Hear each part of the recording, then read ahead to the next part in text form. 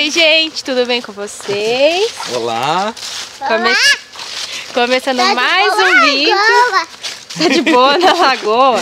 Gente, é, semana passada a gente passou sem vídeo, né? Vocês já devem estar até com saudade da gente, né? Mas enfim, nós estamos subindo aqui agora pra dar uma olhada na branquinha, que é a nossa vaca, que a gente acabou separando das outras porque as outras estavam batendo demais nela. Então a gente tá subindo aqui agora pra dar uma olhada pra ver como é que ela tá.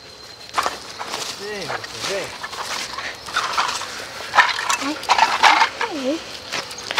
Deixa essa cesta aí, filha. Oi? Vai ficar carregando isso aí? Vou deixar aqui. Papai, papai, Oi, filha. eu quero ficar aqui. Ó, tem um Já filhotinho aqui tá nessa sujo. barriga, gente. E ela tava com um pouco de sangue escorrendo assim, né? É que estava batendo mesmo. Tem uma chifruda ali que tava. Eu Chegou até a arranhar um pouco as costas vou vai. Ela é boazinha, né, filha? Ela vai dar leitinho pra nós. Aham. É, mostra na onde que, da onde que sai o leitinho. Aqui. É, daí.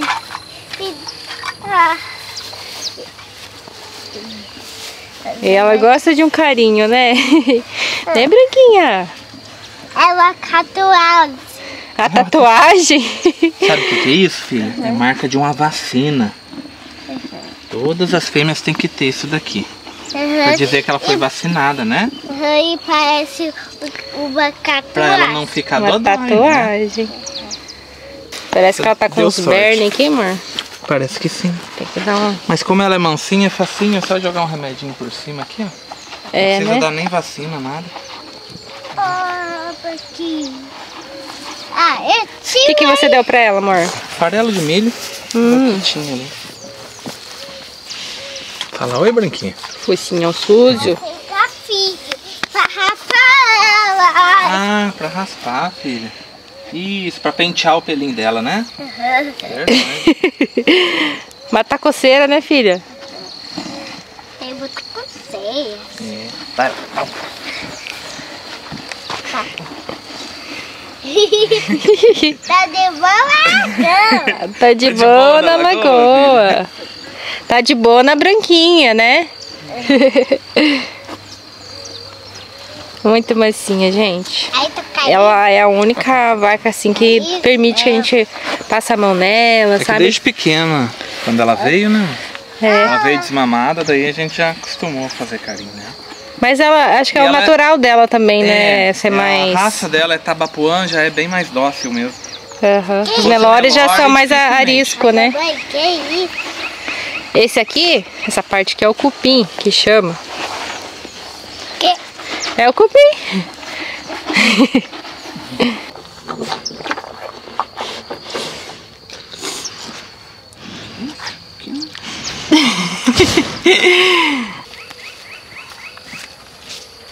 Para pra ver.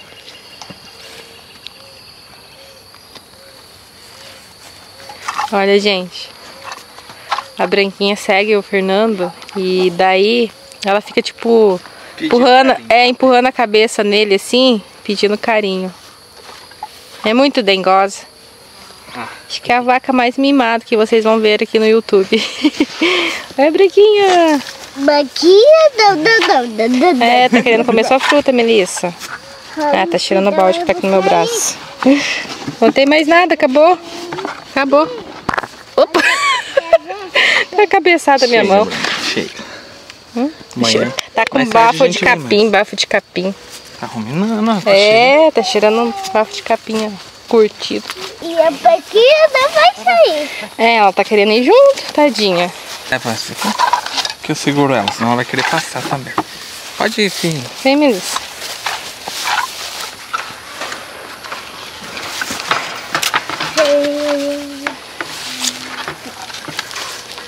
Tadinha. Tchau, Branquinha. Tchau. Tchau, agora. Tadinha a carinha dela. Ô, judiação. que dó.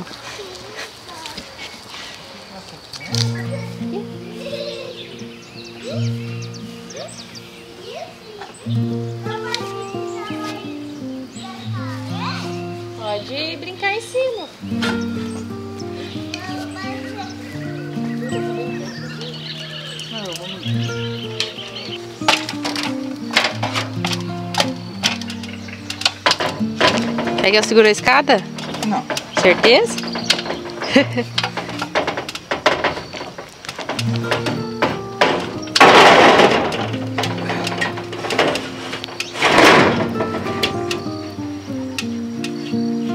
Gente, esse telhado já era para estar tá pronto, mas pensa numa pessoa detalhista. Ele começaram a montar aqui, mas daí como a madeira meio que desalinhou, né? Porque é pinos, pegou sol, ela deu uma entortada, daí não ficou bem alinhado. Aí ele pediu para desmanchar e tá refazendo aqui.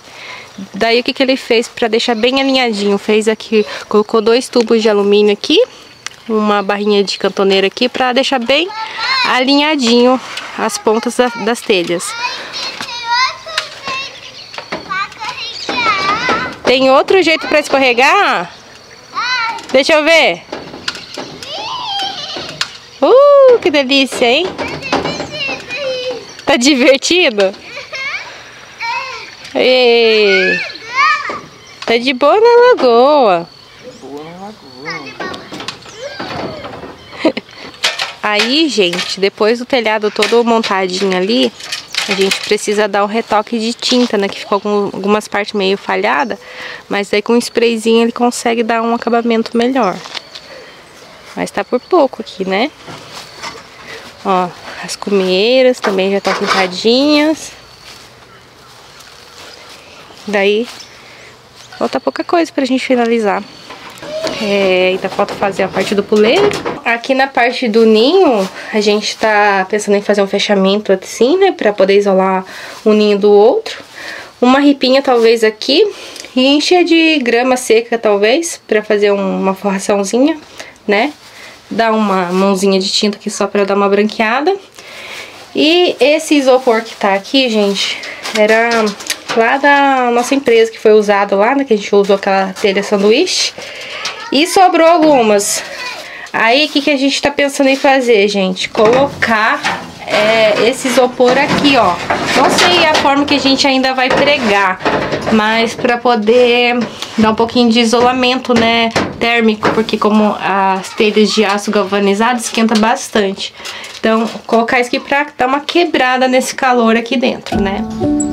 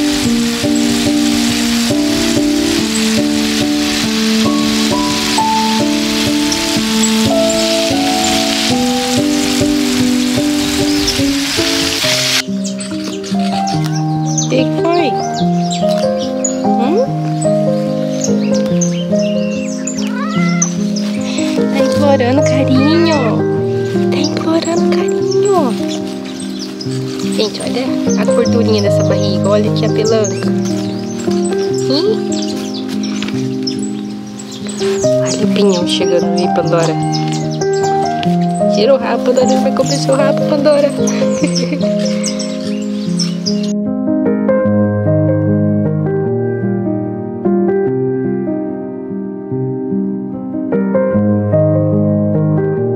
Hora do banho, gente. Não gosta muito não, né? A água tá um pouco fria.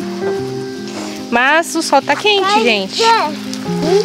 Mas é só no começo que ele assusta um pouquinho, tá lá. Agora já fica mais calmo. É. Eles não gostam muito da, da água caindo na cara, né?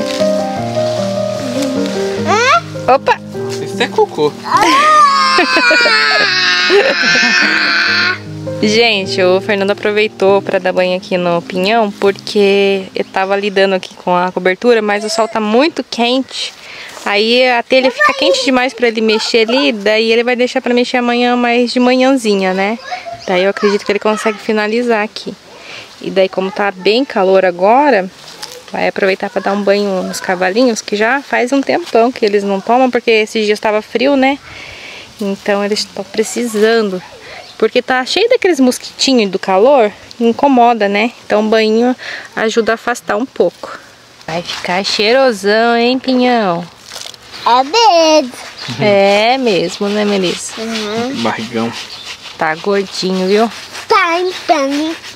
Tô de boa, boa. Mostra a sereia aqui pro pessoal ver a tua sereia, Melissa. Olha que linda, gente. Ela muda de cor conforme a temperatura da água. Viu? Né, Melissa? Uhum. Então, gente, aproveitando que hoje tá calor, é quase meio-dia, umas 11 e pouquinho mais ou menos. Olha, essa aí vai bater calma. É, vai bater a cauda. Uhum. Aí como a Melissa brincou na areia, se sujou toda, ela pediu pra brincar na bacia. Aí deixa ela brincando aqui um pouquinho pra se refrescar e depois a gente dá um banho bem cap- caprichado, né, Melissa?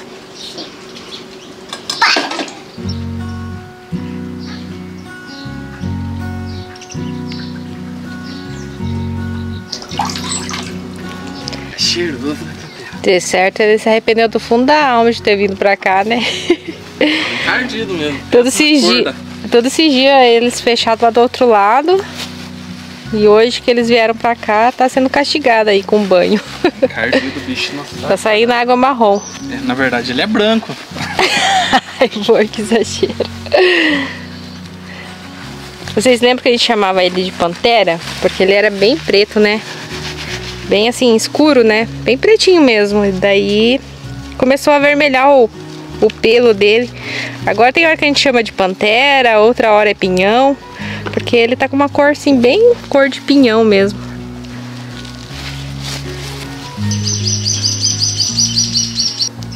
Olha aí, gente. O pinhão tá brilhando agora, hein? Escovando o pelinho dele. Chama a franja do guerreiro. Tava russo, agora tá até brilhando. Então, gente, o Fernando usou esse shampoozinho aqui, ó, que é antisséptico.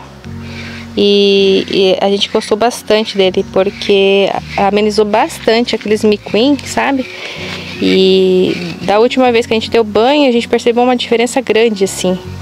E agora deu de voltar um pouco, mas tá bem controlado. Então por isso que a gente tá aproveitando hoje que tá mais quente pra dar um banhinho. E vai dando uma controlada nesses miquim. Normalmente sempre dá mais aqui na cara.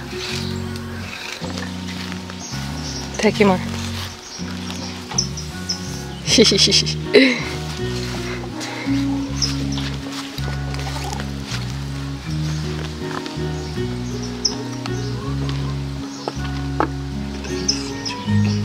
Acho que eu tudo na hora de pegar ali.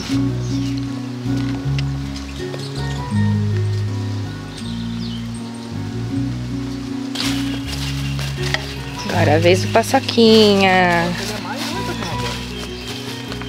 Dá mais trabalho? É, ele força mais.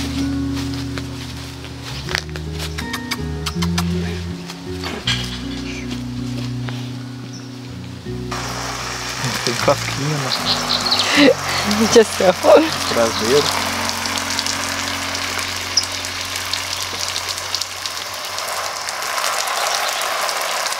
Não tem pra onde fugir, hein, paçoca.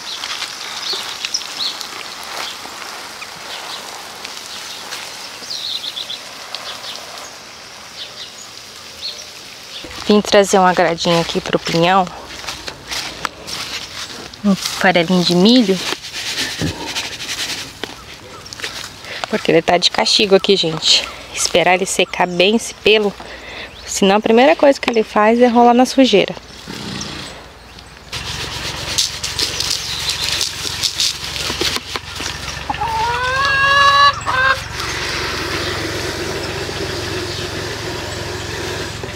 Foi, Filó? Hum? Não é ração, não.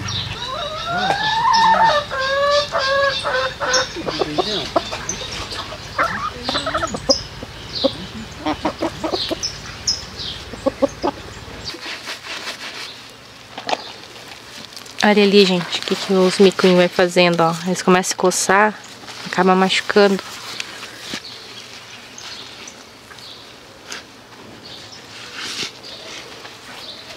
Vai ficar cheirosão.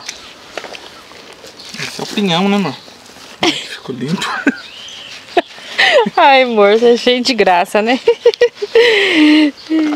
De tanto que lavou, ficou clarinho o pinhão.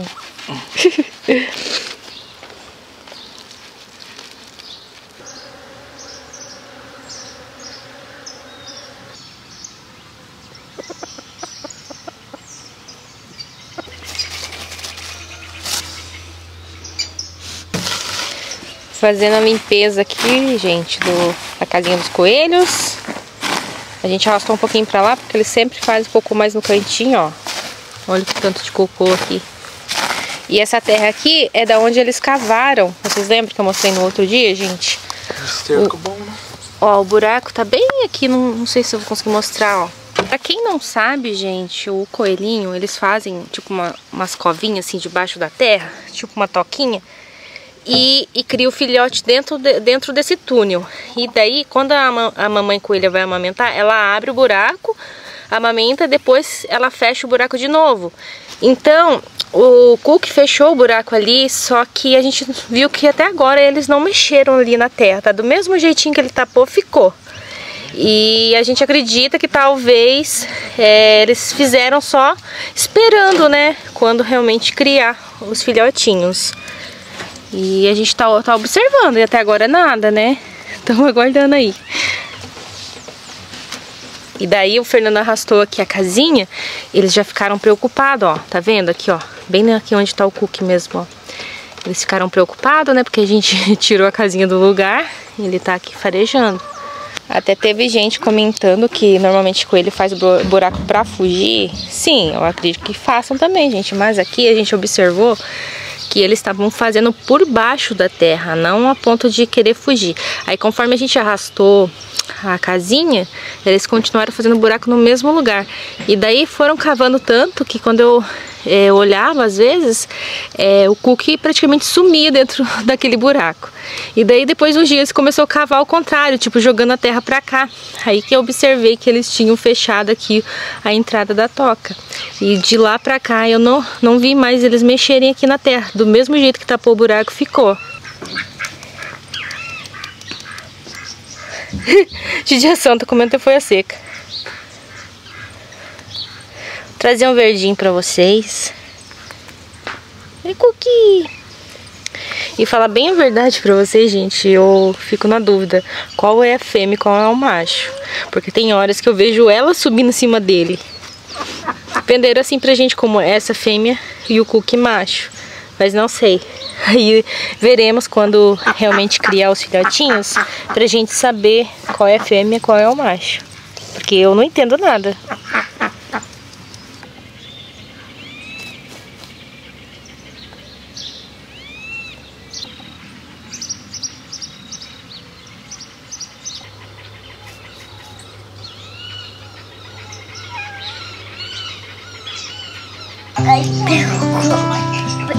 Parece que fora é 9 horas, já tá calor aqui.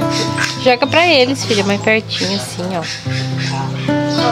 Ah, mas então tá bom, ama, ama, ama, Viló! Amanhã, amanhã eu vou pra Mas é ruim, viu? Uma aí. Eu vou mar, mar, marquei dentista amanhã à tarde, daí eu vou ter que.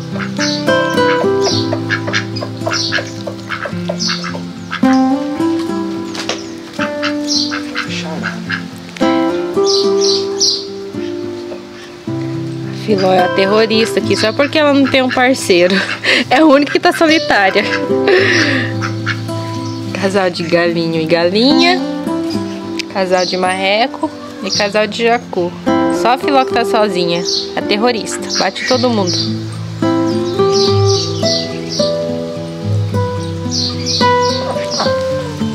E eu aqui só observando, ó. Quem vê pensa que não tem nada pra fazer. Né, amor? É.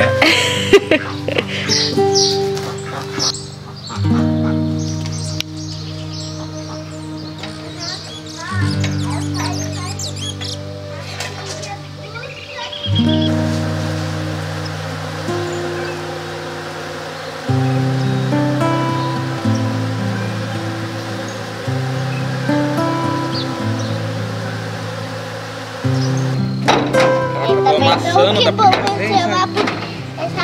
Vai no parafuso, eu acho que desentorta, né? Gente, o Fernando tá na luta aqui de colocar o telhado, porque ele tá com medo de amassar a telha, porque essa telha aqui é tão fininha, qualquer pisada já amassa. Aí ele tá bolando um jeito de pregar ali sem amassar a telha.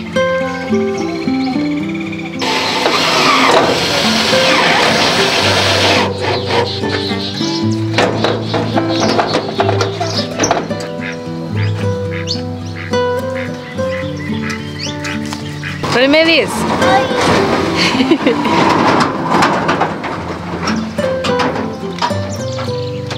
Você acha que assim você vai conseguir endireitar? Vou ter que tentar vir de lá pra cá e soltar ela ali, talvez. É. Bom, gente, eu vou começar a mostrar aqui como que tá a obra. Já faz um tempinho que eu gravei pra vocês, nem me lembro muito bem como que tava. Mas, já assim, já adiantou um pouco. É, tá um pouco lento essa etapa agora, né? Mas já começaram aqui, ó, a chapiscar as paredes. Já estão desmontando alguns andaimes também. Deixa eu mostrar como que tá aqui dentro. Aqui, a hora que eles terminarem de chapiscar as paredes, vão desmontar esses andaimes aqui também. Então, já começaram a cortar as paredes, onde ficarão os pontos elétricos, é, ainda falta fazer a parte hidráulica, né? Mas já adiantaram bem essa parte. Depois eu só vou alinhar certinho onde que eu quero que fique a posição das tomadas, né? Olha só.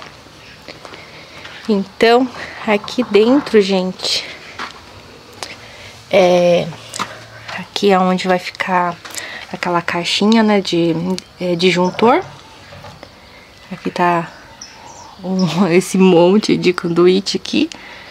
E aqui no nosso lavabo, é, tanto aqui no nosso lavabo quanto no nosso banheiro que é atrás, a gente fez com laje, porque aqui na nossa casa a gente vai ter aquecedor solar, que era uma coisa que a gente tinha na casa da cidade, e a gente quis fazer a mesma coisa aqui nessa casa, porque é muito bom, gente, ter água quente nas torneiras, no chuveiro, principalmente no, em dias frios, né, que a água não sai na temperatura ideal na hora que você vai usar o chuveiro, queima resistência. Ter o aquecedor solar facilita muito no dia a dia, não só no, em dias frios, principalmente assim quando você precisa lavar uma vasilha muito cheia de gordura, ao invés de você ficar esquentando água, a água já sai quentinha na torneira, então isso é muito bom. E seguindo pra cá do nosso lavabo, ó, a gente já vem aqui nessa parte de circulação dos quartos, né? O quartinho que provavelmente será o quartinho da Melissa. Aqui, gente, como eu falei pra vocês, que a casa ficou com 3,20 de altura, mas na parte dos quartos eu vou rebaixar com gesso, que eu acho que realmente fica mais é, confortável, né? Um ambiente mais aconchegante. Então, vamos rebaixar de gesso. O outro quartinho também, ó. Parte das paredes já terminaram de subir, já foi feito toda a viga em cima da, das paredes. Os cortes das partes elétricas também. O banheiro aqui também já foi deixado alguns pontos aqui para descer com a energia, né? Ainda falta fazer a parte de hidráulica, né? Parte de esgoto, essas coisas. E pra cá, pro nosso quarto, ó.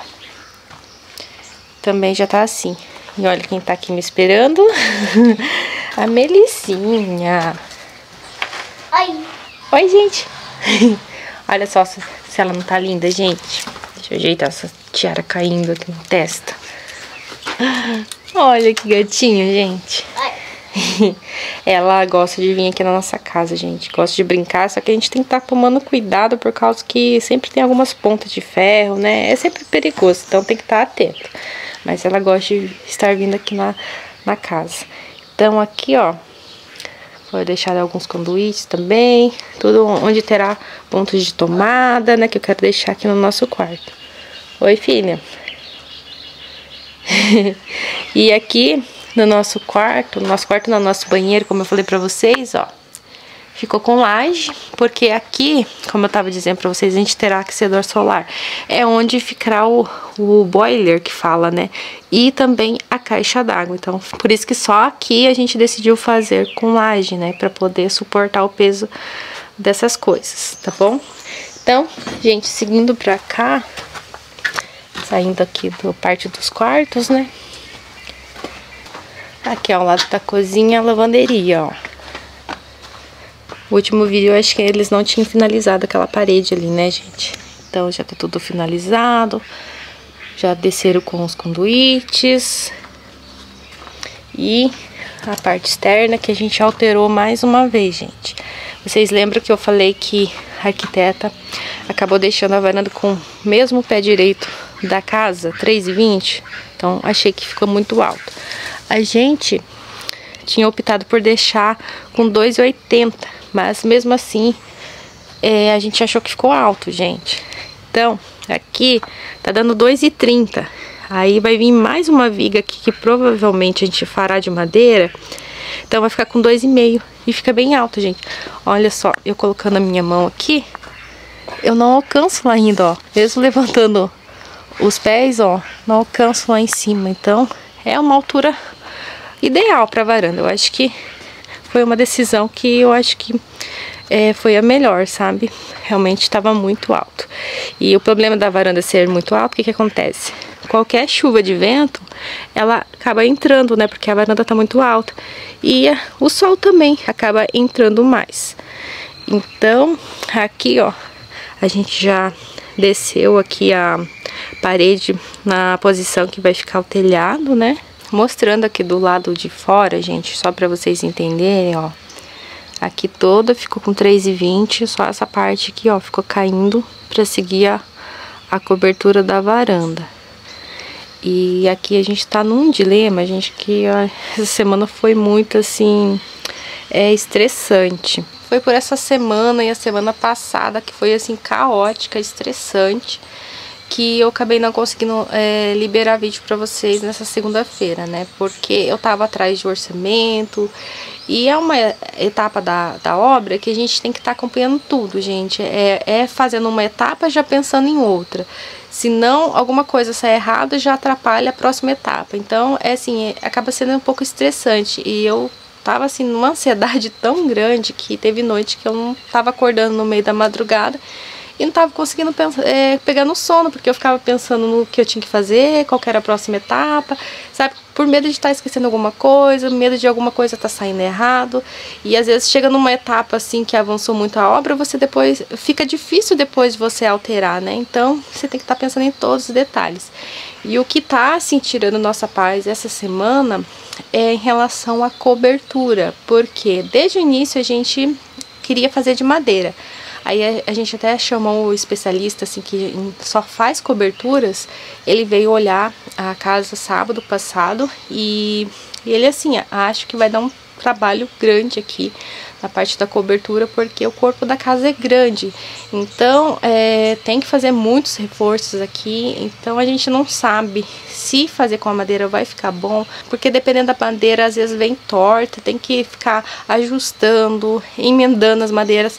Como o, o eitão vai dar bem alto por conta do corpo da casa, então precisa ser bem estruturado. E a gente tentou fazer cotação também com Steel, que é aço galvanizado, só que o orçamento, gente, é, é de cair de costa. A gente tava, assim, é, apostando que a gente ia fazer com Steel, só que o orçamento, assim, assustou a gente, que estamos, assim, sem saída. Aí a gente tá vendo também na opção talvez de fazer de ferro. Vamos conversar com alguém pra gente ver o que a gente faz. Já era para essa casa estar começando a estrutura aqui da cobertura, mas por causa dessa indecisão, é por medo de estar tá fazendo a escolha errada, a gente tá atrasando o andamento da obra. Mas eu acredito que essa semana, no máximo semana que vem, a gente já tenha decidido o que, que a gente vai fazer aqui. Mas enfim, se Deus quiser, vai dar tudo certo.